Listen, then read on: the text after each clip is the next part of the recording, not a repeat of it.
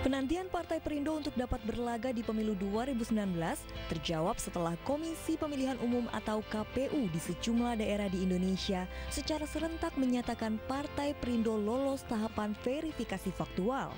Di Serang, Banten, KPUD setempat menyatakan DPD Partai Perindo Kota Serang mampu melengkapi semua persyaratan dalam proses verifikasi faktual.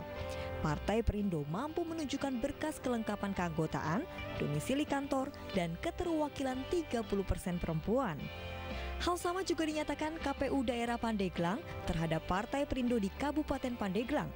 Pengurus DPD Perindo sudah memenuhi syarat proses verifikasi faktual sebelumnya kami telah memenuhi syarat untuk uh, dinyatakan lolos sebagai uh, partai politik beserta pemilu tahun 2019 nanti. Jadi Perindo baik pengurusan apa, keterwakilan perempuan termasuk keanggotaan itu sudah dinyatakan memenuhi syarat.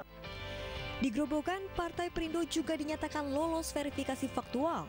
Meski ada tiga kader yang meninggal dunia, namun KPUD setempat menyatakan hal tersebut tidak menghalangi DPD Partai Perindo Grobogan untuk bertarung di pemilu 2019.